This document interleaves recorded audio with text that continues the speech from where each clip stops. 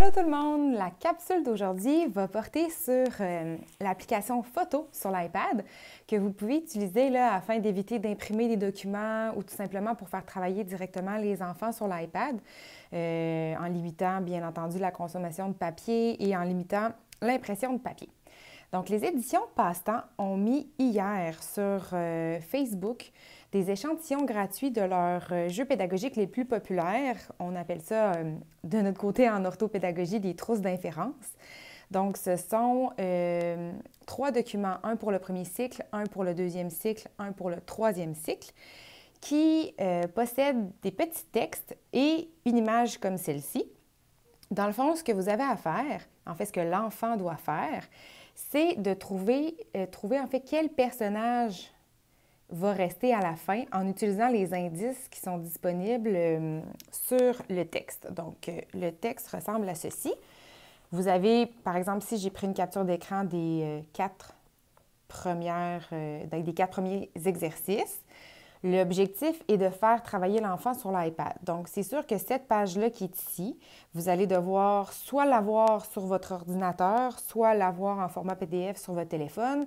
Puis, vous allez devoir dicter les consignes à votre enfant. Je parle ici des enfants plus jeunes s'ils ne sont pas capables de lire parce que ça va peut-être être un petit peu désagréable de toujours se promener d'une page à l'autre en, utilisant euh, l'application que je vais vous montrer, mais c'est quand même tout à fait faisable.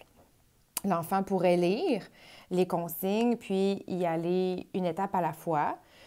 Vous pourriez aussi lui demander de réécrire les consignes sur une feuille. Hein. pourquoi pas euh, utiliser une feuille brouillon ou quoi que ce soit qui est à la maison euh, pour pratiquer l'écriture aussi. C'est sûr que ce n'est pas la même chose qu'une dictée, mais je ne suis pas l'enfant ayant le prénom le plus minuscule d'entre tous, d'entre nous, pardon.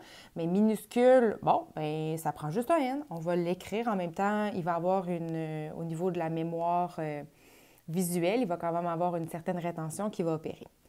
Alors, si j'utilise la première méthode que je viens de vous dire, euh, vous allez dicter les consignes à l'enfant. Pendant ce temps, l'enfant utilise, on est toujours dans les photos, donc juste ici, photo. J'ai pris une capture d'écran en utilisant euh, Safari, puis en allant chercher le document. Et la voici. Comment je fais pour faire une capture d'écran? Par exemple, je suis dans Safari, dans ce cas-ci, si je veux aller sur... Ah, je m'excuse, l'Internet ne fonctionne pas en ce moment très bien, donc ça se peut que je n'y ai pas accès. Je vais quand même y revenir au besoin sur les captures d'écran. Donc, vous allez donner les consignes à l'enfant. Pendant ce temps-là, l'enfant va peser sur Modifier, qui est en haut à droite.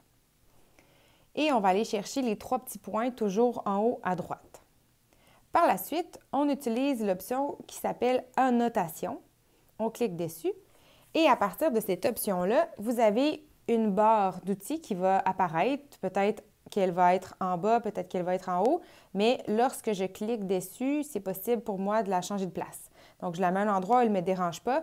Dans le cas ici, je ne veux pas la mettre en bas parce que ça va m'empêcher de visualiser les prénoms des personnages et j'en ai besoin. Donc, je vais la laisser en haut.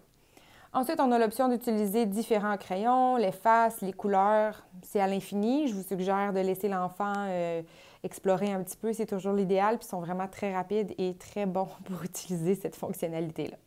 Donc, moi, j'utilise le marqueur noir qui est juste ici.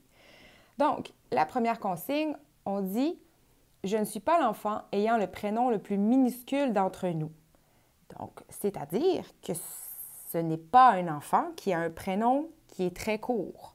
Donc, avec mon crayon, je vais venir éliminer la personne ayant un prénom qui est très court et qui est un enfant. Donc, dans ce cas-ci, c'est Tom. Je vais faire un X dessus. Ensuite, je m'endors très souvent au cinéma, mais pas cette fois-ci. Donc, la personne qui parle, elle ne dort pas. Je vais éliminer tous les personnages qui sont en train de dormir. Ensuite, il y a deux adolescents amoureux dans la salle. Je ne fais pas partie de ce duo ce n'est pas ces deux personnages juste ici. Parce que c'est une tradition et que j'adore cette collation, j'ai un sac de maïs soufflé. Alors là, je vais éliminer tous les personnages qui n'ont pas de maïs soufflé. Il y en a quand même plusieurs. Et voilà. Mes vêtements ont souvent des motifs, mais je ne porte jamais de vêtements à poids. Alors, ce ne sera pas Marie, ni Rita, continue. Quand j'entre dans une pièce, je retire toujours ma casquette par politesse. Donc, ce n'est pas Colin, il a une casquette. Puisque je n'ai pas une vision parfaite, je dois porter des lunettes si je veux bien voir le film. Donc, Jimmy ne porte pas de lunettes. Elodie ne porte pas de lunettes. Ça veut dire que le personnage qui nous reste à la fin, c'est Robin.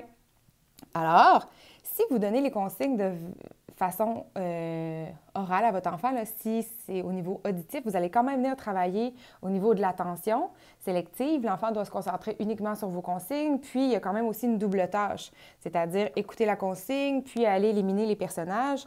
Donc, on vient aussi travailler au niveau de l'attention partagée. Je pense que ça va être une très belle façon d'utiliser les différentes activités qui sont euh, mises sur Internet en ce moment par plein de maisons d'édition. Vous profitez de certains échantillons gratuits. Euh, oh, j'ai oublié d'éliminer Léon. Léon. Ah, c'est beau, il y a des lunettes. Je m'excuse. Vous voyez, j'ai été déconcentrée. Alors, euh, je disais qu'avec l'application photo puis la notation, pas besoin d'acheter de logiciel, pas besoin d'applications qui coûtent une fortune pour travailler au niveau de l'écrit. Euh, vous pourriez aussi prendre des plus petits crayons, puis faire écrire l'enfant, dessiner, tracer des lettres et ainsi de suite. Vous avez juste à prendre euh, une capture d'écran d'une feuille blanche ou vous pouvez même utiliser l'application Note qui est juste ici, puis aller prendre une nouvelle une nouvelle capture d'écran puis l'utiliser ou peu importe. je pense que vous êtes assez créatif de ce côté-là. Donc voilà pour la petite capsule d'aujourd'hui. J'espère qu'elle va vous être encore une fois bien utile.